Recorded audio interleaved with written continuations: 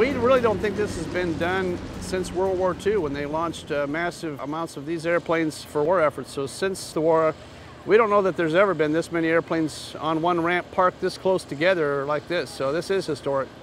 It's uh, an emotional thing for all of us. All of us are owners and pilots. It's not a money thing for us. We just love the airplane and we love the history associated with it, and especially the wartime aspect of what this airplane did for us in World War II. Uh, but the owners and the pilots uh, are kind of tight band and we all know each other and keep in close contact with each other. We try to help each other with parts and maintenance and tips where we can. So it wasn't really too hard to make a grassroots network via cell phone a, a year or so ago to kind of start putting this together. Well, when we were starting this, uh, I have several people from around the country that uh, I'd kept in contact with that were uh, D-Day and World War II guys. And one of the guys I made a phone call to just a little over a year, and I had, I had some more questions I wanted to ask him. And this time when I called, uh, his wife answered the phone, and he was no longer with us. And uh, I didn't even know. He had, he had died uh, in the previous month or so. And uh, he had been a C-47 pilot.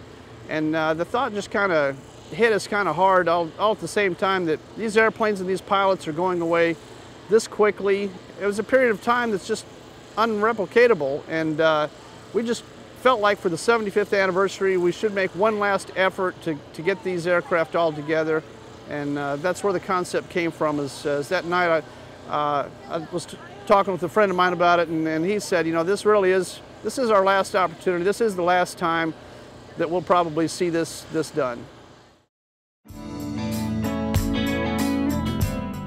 If you own a Cirrus today or if you are considering the purchase of a new or used aircraft, consider this. Avidyne, in conjunction with the country's leading Cirrus sales and maintenance facilities, has launched the G3R9 program that combines the purchase of a late model, low time Cirrus aircraft and the addition of the Avidyne Integra Release 9 avionics suite for much less than you may have thought, and certainly much less than purchasing a brand new aircraft.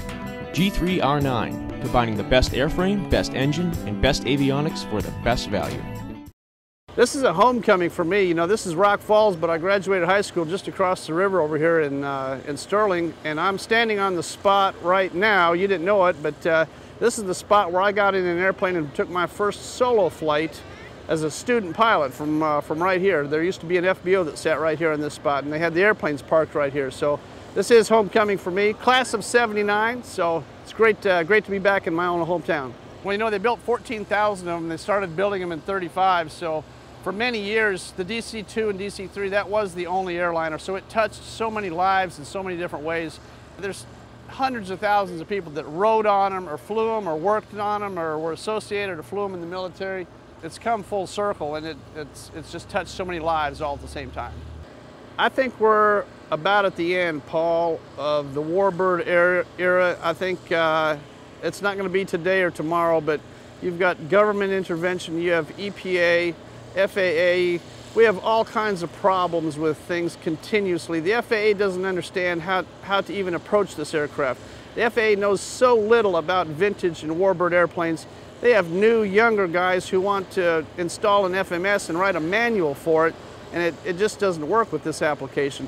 It's not their fault, they just don't know anything about it. They just don't have the experience. So the odds of this airplane staying around in the next 10 years, any of these radial powered engines, it's going to get very, very difficult. Uh, parts, laws, all of the above, it's going to get very difficult, no doubt.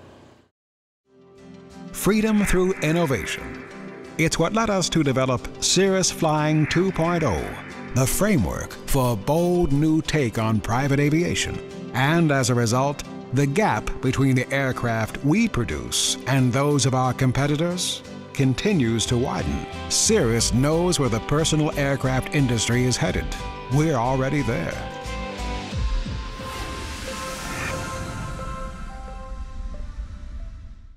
Their original concept was to park the aircraft in five different locations and then to launch them on another day to taxi back out among those millions of people and try to make a formation takeoff in, in crowded skies around AirVenture I mean, that's why we picked this airport.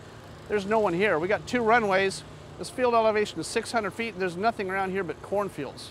There's no one out here. So if we, if we stand a chance of taxiing out and launching and getting together, it, will happen here. It, it never happened at Oshkosh. You, that's, it's insane to even to try it. This opportunity is, is extremely unique because we have not flown together. We don't have a practice day. All of us know each other, but we've not necessarily flown together, and we've certainly never done this size of a formation.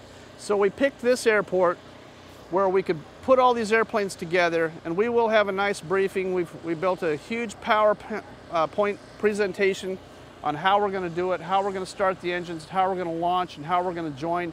We brought in uh, nine consultants from around the country and we've worked on this project for about uh, last six months as far as designing the formation, even designing the parking. Everything that you see here is extremely choreographed. These orange lines and you see these airplanes with their wingtips uh, three feet apart. This is by design. We carefully engineered and designed all this so we could start these airplanes, taxi out and get these airplanes to the runway and get them in the air very quickly so we don't burn them up. So the whole thing was, was well thought out, well designed. We don't necessarily know if it'll work or not, but we didn't know if the space shuttle was going to work. The Wright brothers didn't know if the Wright Flyer would ever fly, and we didn't know if D-Day was going to be successful. There's lots of things in life we don't know, but we're going to do this safely. We're going to make an attempt, and I think, uh, I think we'll have our mass formation tomorrow.